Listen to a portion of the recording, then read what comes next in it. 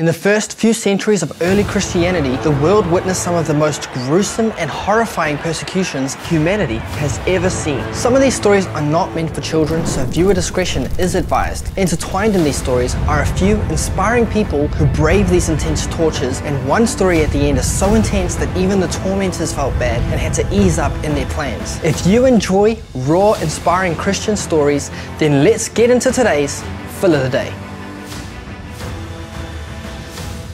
Beginning around 54 AD, after Christianity had seen a sudden explosion in followers, a Roman emperor named Nero was reigning. He was a man of great creativity combined with a vicious temper and extreme cruelty. It was rumored that Nero had a desire to destroy the city of Rome, so he secretly hired men pretending to be drunk and he tasked them with a mission to set the city on fire. The fire burned for about nine days, resulting in two thirds of Rome being destroyed. Just to give you a kind of picture of the man Nero was, he murdered his own mother, exiled his sister to a remote island, left there to die, and when he got into a disagreement with his leading advisor, Seneca, he immediately discharged him and forced him to commit suicide. It is rumored the reason he had two-thirds of the city of Rome destroyed was to make room for a new palace he had been fantasizing about for years. Although no one can prove Nero was the instigator to having the city destroyed, what we do know is that Nero had a peculiar group that was growing in size that he could blame. But before we get into the horrific events that transpired under Nero, there's one notable inspiring person whose life was ended by Nero's great persecuting spree. Paul was a Jewish leader that was extremely zealous for his faith. When he was younger, he rose to the top of his class amongst the best of the best students when it came to religious studies. As he got older, he was so keen to uphold his faith and his traditions that when a group of Jesus followers began to undermine everything he believed in, he would stop at nothing to snuff this rumor out that Jesus had risen from the dead. So convinced of his ideas, he would beat, threaten, imprison any followers of Christ he could find. Everything would change for him one day when all of a sudden he encountered the risen Jesus himself. He fell off his chariot and he was blinded by this piercing light and a voice came from heaven and began to speak to him. Realizing he had made a grave mistake, he went from one extreme to the next. And instead of trying to stop Jesus' followers, he was now Christianity's biggest mouthpiece. He couldn't stop talking about what he had seen and heard no matter what obstacle came his way, whether it was beatings, imprisonments, near-death experiences, it looked like nothing could stop him. That was until he went face to face with his biggest obstacle yet, Nero.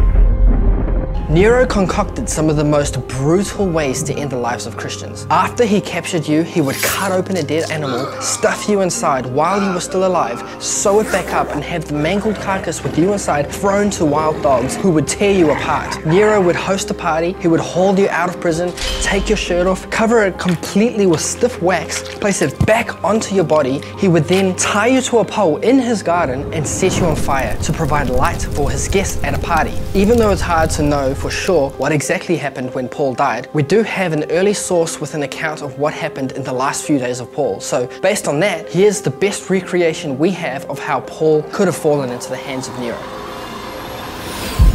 Paul had been preaching and converting many people in Rome. In fact, he was even influencing the members of Nero's very own household. Nero's own cupbearer came to listen to Paul. The crowds were so large at the house that Paul was preaching, he had to push his way in just to get a glimpse and hear what he was saying. Even though he was super keen to hear what Paul had said, he just couldn't get past this massive amount of bodies that were just filling this room. So instead, he decided to perch himself on a high open window. As he was listening, people were still trying to squeeze their way in and someone, not realizing he was sitting on the window, accidentally pushed him off and he fell out of the window to his death. Immediately, the people who saw what had happened ran back to Nero to tell him what had happened to his servant. Paul having encountered this before, calmed everyone down and prayed for him and he miraculously came back to life. And then he sent him back to Nero's house alive. News got back to Nero that his cupbearer was dead, but his other servants came to him and said, he's not dead. In fact, he's standing alive in the other room. Nero became afraid, like, how can he die and now live? He didn't want to go to the other room, but after convincing himself that there was nothing to be afraid of, he went into the other room and he couldn't believe his eyes. There standing before him was a perfectly alive and well cupbearer. So he asked his servant,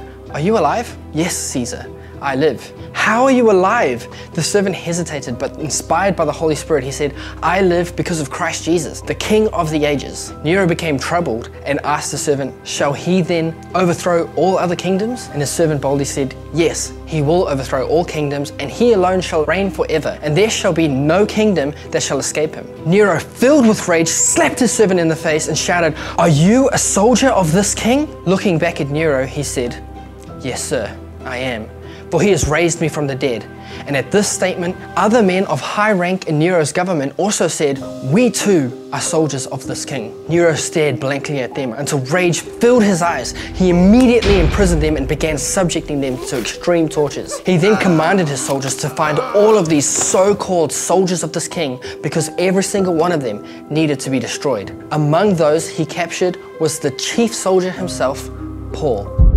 Paul was led into a very beautiful stone courtyard that had bits of gold and carvings lining around the courtyard. There was a group of soldiers and officials that lined around the courtyard on the story above, and front and center in front of Paul on a podium stood Nero. And with Paul stood a bunch of Christians that had been captured with him. Nero could see that Paul was the leader, so he said to him, You are supposedly the great king's chief soldier, and yet you are my prisoner. And you try and sneak into my ranks and corrupt my very own governors and officials in an attempt to steal them out of my province. But Paul, filled with the Spirit, looked up at Nero and said before them all, O Caesar, not only out of your province do we try and enlist soldiers, but out of the whole world. For that is my calling, that no man should be refused if they wanted to serve my king. And you too can serve my king if you will repent. It is not wealth or splendor that exists now in this life that will save you, but if you submit your life to my king, you will be saved. Nero fixed his gaze on Paul and he furrowed his brow. Paul continued, And one day he shall fight against this world with fire. Nero cut him off and commanded that all the prisoners to be burned with fire.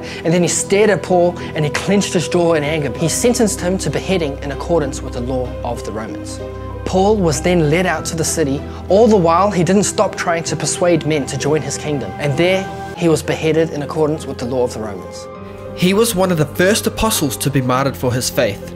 His death, like his life, was a testament to how much one life surrendered to God can change the world. Today, he is remembered as one of the greatest Christian martyrs of all time.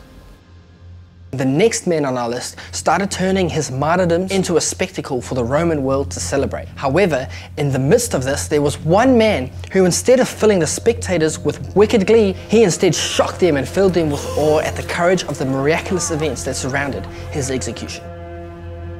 We are now in early 162 AD and Emperor Marcus Aurelius was the next to rule over Rome. Marcus's father died when he was three and he was raised by his grandmother. From a young age he dedicated himself to wrestling and boxing which then developed into an obsession to learn how to fight in armor which would later prove useful as emperor because his reign was filled with military conquest. He was fierce and merciless towards Christians because they refused to worship him as emperor as well as refusing to worship other gods and partake in the sacrifices which were expected of everyone living in the Roman Empire. The things that happened under his rule were so inhumane that onlookers could hardly even watch. They shuddered in horror while witnessing the atrocities before them. On important days such as the emperor's birthday, it was custom to have a big event in which Christians would be placed in an arena and exposed to a variety of wild and ferocious animals. One notable martyr was that of Polycarp, who was a direct disciple of the Apostle John, who was a direct disciple of Jesus.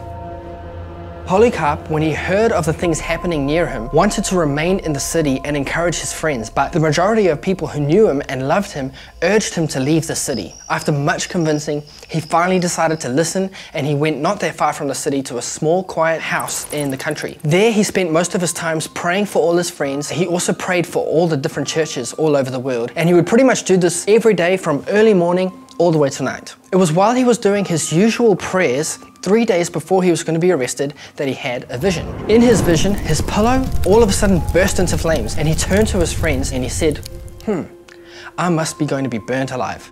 The Roman soldiers had been ordered to look for Polycarp and they weren't giving up their search. So Polycarp ended up fleeing from one farm to another with the Roman soldiers being not that far behind him. When they got there, they found a couple of young boys hiding in the home. They arrested them and after interrogating them under torture, they confessed to the whereabouts of where Polycarp had fled to. When they finally reached him, they found him in bed in the attic, and even though he could have attempted to flee again, he just decided God's will be done. As soon as he heard them arrive, he went down and chatted with them. All the soldiers couldn't believe how old and how calm he was, and they were surprised that the arrest of such a frail 86 year old man was so urgent. The whole situation was unusually peaceful. Polycarp offered to make them all food, which he gave them as much as they wanted. He then asked if he could have just one last hour in prayer uninterrupted. They looked at each other and they thought, well, it couldn't hurt and it's late already, so what's one more hour gonna hurt? He thanked them and he immediately went to his knees and started praying. All the soldiers, as they heard the fervency of his prayers, began to feel sorry that they were the ones to have to capture such a gentle old man.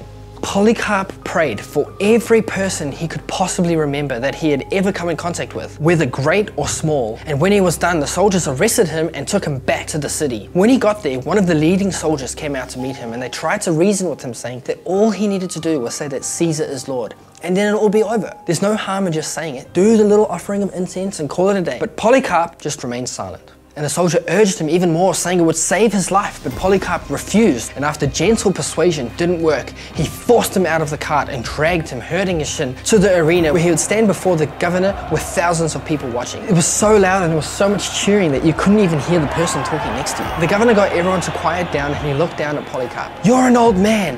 Have respect for your years. Swear an oath by the luck of Caesar. Admit you are wrong, you and all your Christian friends.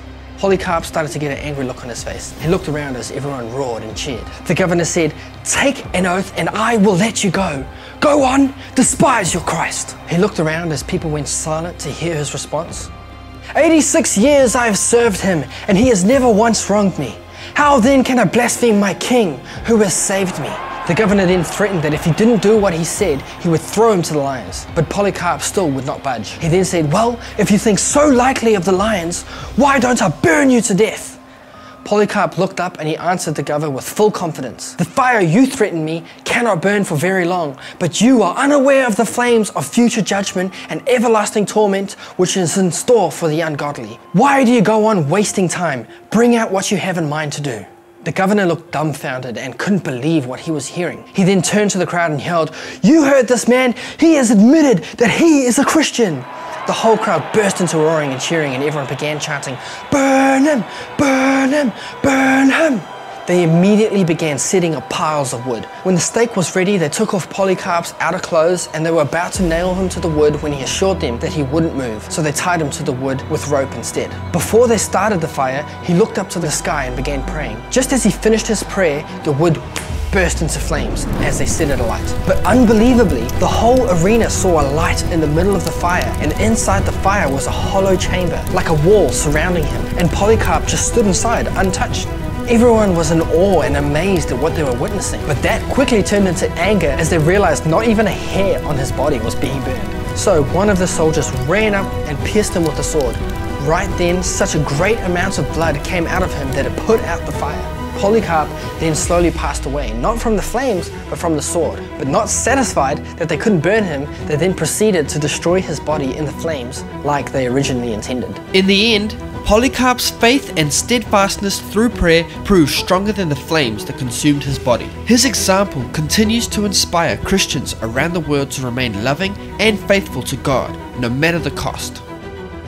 The amphitheatre became a regular site of all sorts of martyrdom, but this would end for a short time when Emperor Severus stepped onto the scene. He was favourable toward the Christians because it is said that one day when he was lying in his bed near death due to a severe sickness, a Christian had come up to him and prayed for him, and at once he was miraculously healed. However, this favour didn't last long because the prejudice and the fury of the Roman citizens began to reign once more. Old redundant laws were now revised and used to persecute the Christians, and just like before, the Romans blamed any natural disaster or misfortune on the Christians. It was during this time that a young woman, along with her friends, would suffer in such a selfless and courageous way that their stories are still inspiring people today. With the growing hostility towards Christians, it wasn't safe to openly practice your faith in public. So, many Christians would gather under the cover of night in secret. Meeting together one night were two women, Perpetua and Felicity, alongside their pastor Satyrus and a few others. Each of them took turns sharing communion in the dimly lit room,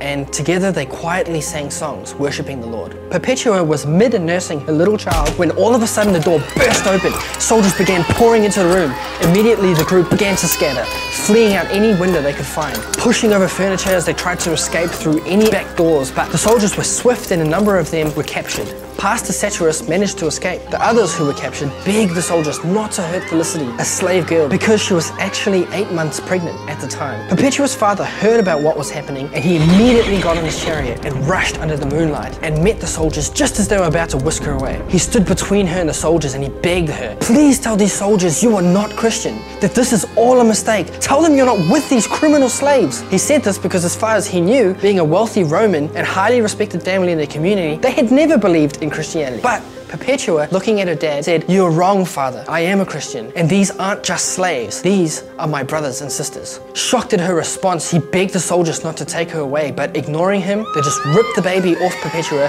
while she was still nursing, handed it to the father, and immediately dragged them all away off to prison. While in prison, the father met with Perpetua once more, begging her for his sake that she give up this whole charade. But Perpetua, being grieved by her father's request, looked at a vase next to them and said, What do you see over there, father? He looked at it and said, I see a vase. She said, And can it be anything other than a vase? He was confused and said, No, it can't be. It's a vase. She then said, And neither can I be anything but a Christian. At this, her father burst into tears and handed his son back. Overwhelmed by the whole situation, he left and went to the governor by himself to try and resolve matters on his own. Back in the dungeon, Perpetua was filled with anxiety for her little one as she sat in the cold, dark prison cell nursing her baby. It was in this place that she had a dream. In her dream, she saw a thin golden ladder that could only fit one person stretched all the way up to heaven. On the way up on either side, close to the ladder, she could see every kind of iron weapon. There were swords, lances, hooks, daggers, and if you weren't careful on the way up, any one of these weapons could accidentally attach yourself to the flesh and rip you to pieces. Underneath the ladder was a dragon who tried to scare the climbers from climbing the ladder. And then all of a sudden she saw her pastor, Satyrus, who wasn't with them, climb up the ladder and once up, he turned around and said, climb up, I'm waiting for you, and be careful of the dragon. She said, In Jesus' name, it will not hurt me. She then stood on its head, climbed up the ladder, and when she reached the top, she was in this immense garden. And in the midst of the garden was a large white haired man that just looked like a shepherd that was milking sheep. And standing around were thousands of white robed people. He raised his head and looked at Perpetua. Welcome, my daughter, he said, and called her over and gave her some cheese from the milk he was milking as if it was a piece of cake.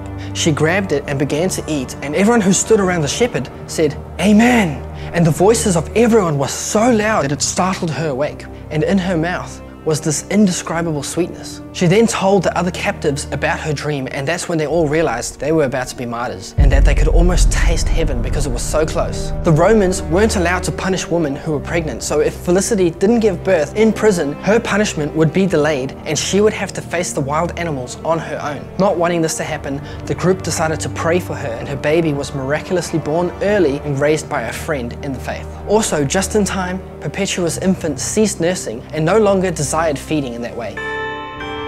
It was soon time to appear before the judge. If they offered incense to the Roman gods and renounced that they were Christians, they would be set free. If not, they would be punished as entertainment in the amphitheater. Each prisoner stood before the judge, and all of them remained steadfast, not renouncing their faith. Her father, seeing that Perpetua was next, begged her, Please, for the sake of your son and for the sake of your family, just offer the sacrifices and renounce your Christian religion.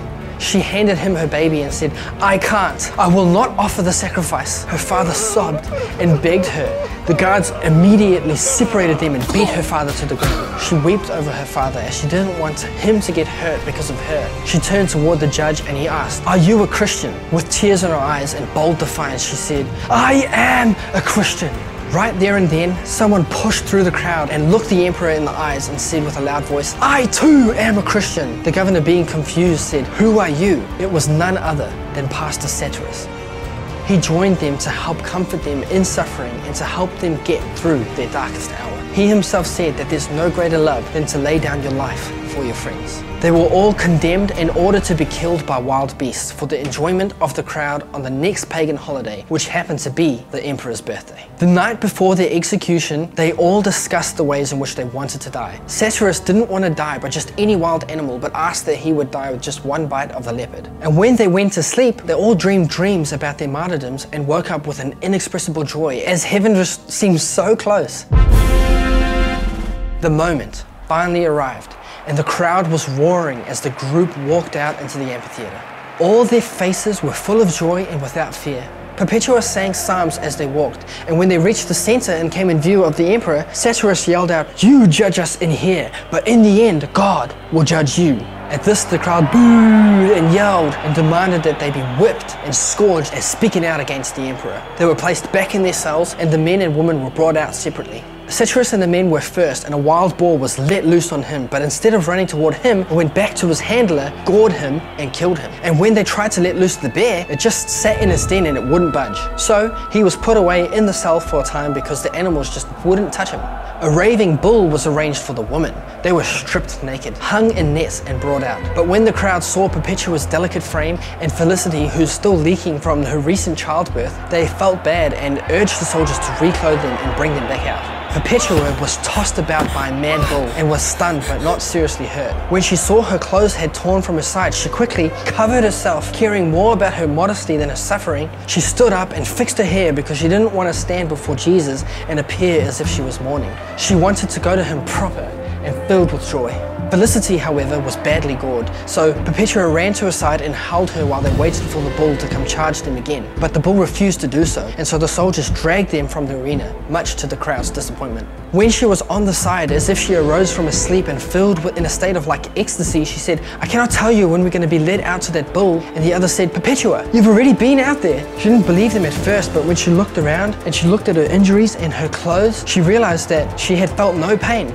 She began to encourage everyone around her to stand strong and not be discouraged by her sufferings. Satyrus was brought out again, and he said to the soldier leading him out, Just as I have promised and foretold, leading up to now, no animal has come near. So now believe with your whole heart. Watch, as soon as the animals are brought out, you will see I will die with just one bite of the leopard. And immediately, right at the end of the exhibition, he was thrown to the leopard, and with one bite, he died. They brought his lifeless body to where the others would be slaughtered, and he was the first to ascend up the ladder to heaven.